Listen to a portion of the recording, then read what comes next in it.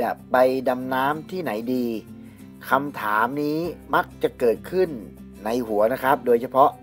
นักดำน้ำที่เพิ่งเรียนจบ Open Water ใหม่ๆ ไม่รู้จะไปไหนครับ เอายังไงต่อดี วันนี้ผมมาตอบให้เลยครับ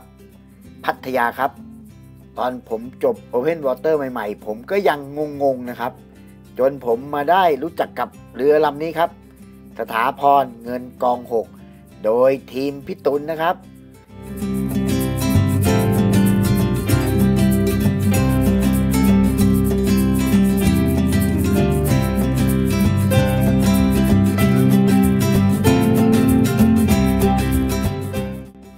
ตัวผมแล้ว เรือพิตุนถือเป็นเรือครูสำหรับผมเลยนะครับ เพราะผมได้มาฝึกskill เพิ่มเติมในหลาย ๆ เรื่องนะครับ กับนี่เลยครับ DM โจนะครับ โดยมีพี่ตุลนะครับผู้จัดการของเรานะครับ คอยดูแลแล้วก็ให้คำแนะนำอย่างใกล้ชิดครับ ซึ่งนักดำน้ำมือใหม่อย่างผมนะครับ อุปกรณ์ก็ไม่มีครับ ก็อาศัยเรือพี่ตุลนี่แหละครับ มีอุปกรณ์ให้เช่า อุปกรณ์ก็มีสภาพสมบูรณ์พร้อมใช้งานนะครับ มือใหม่สบายใจได้ครับ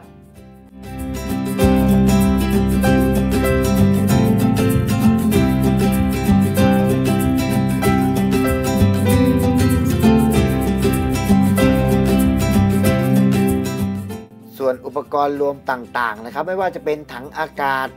ตะกัว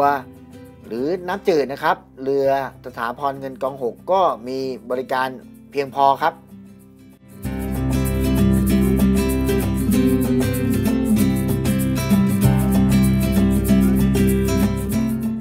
เทคนิคสำหรับนักดำน้ำมือใหม่นะครับ เรือสถาพรเงินกองหกมีบันไดเดียวนะครับ เวลาดำขึ้นมาเห็นบันไดจำไว้ด้วยนะครับ จะได้ไม่ผิดลำนะครับ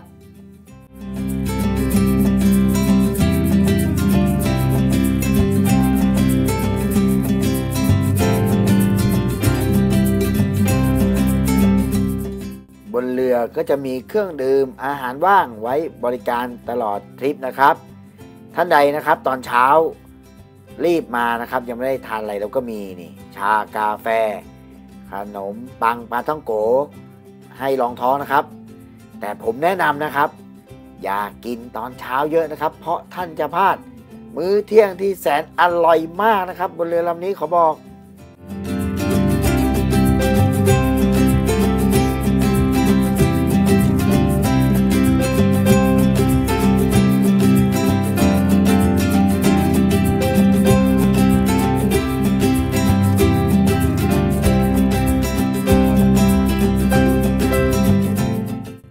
ชื่อว่าหลายๆ คนคงสงสัยเหมือนที่ผมสงสัยนะครับว่า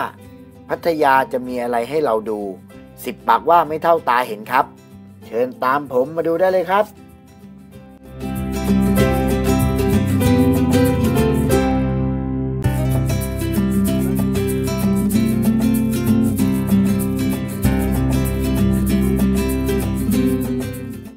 เรือหลวงครามเป็นจุดดำน้ำที่น่าสนใจ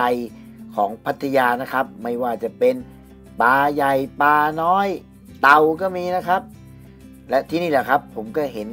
ลูกปลาฉลามครั้งแรกในชีวิตของผมนี่แหละครับ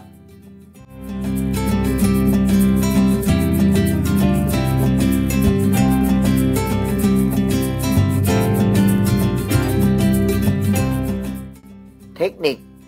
อีกอย่างหนึ่งนะครับสำหรับนักดำน้ำมือใหม่ที่ควรจะทราบไว้นะครับ ในการดำน้ำลึกหรือดำเรือจม คือต้องมีไฟฉายครับ ไฟฉายเป็นอุปกรณ์จำเป็นในการดำน้ำลึกหรือเรือจมนะครับ เพราะว่าเอาไว้นำทาง เอาไว้ส่องดูชีวิตใต้ทะเล หรือไว้ส่งสัญญาณนะครับ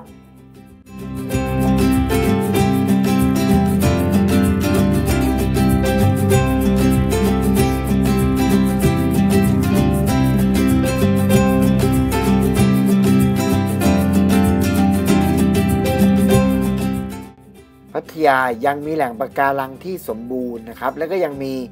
แนวกองหินนะครับ ที่เป็นที่รวบรวมของชีวิตใต้น้ำหลายๆ ประเภทนะครับ ให้เราได้ชมกันครับ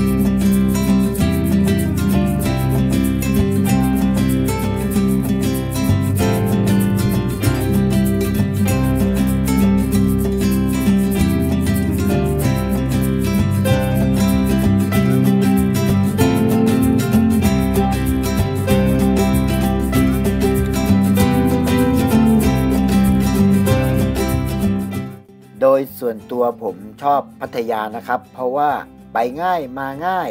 ค่าใช้จ่ายไม่แพงทำให้เราได้สามารถฝึกสกิลเพิ่มเติม ได้เห็นชีวิตใต้ท้องทะเลสำหรับท่านที่มีคำถามนะครับ เกี่ยวกับการมาดำน้ำที่พัทยาไม่ว่า มายังไงพักที่ไหนอะไรยังไงก็คอมเมนต์มาได้นะครับ แล้วอย่าลืมกดติดตามไว้นะครับ เพราะผมยังมีเรื่องราวอีกมากมายเกี่ยวกับการดำน้ำมาแชร์ให้เพื่อนๆทุกท่าน ได้ชมกันครับ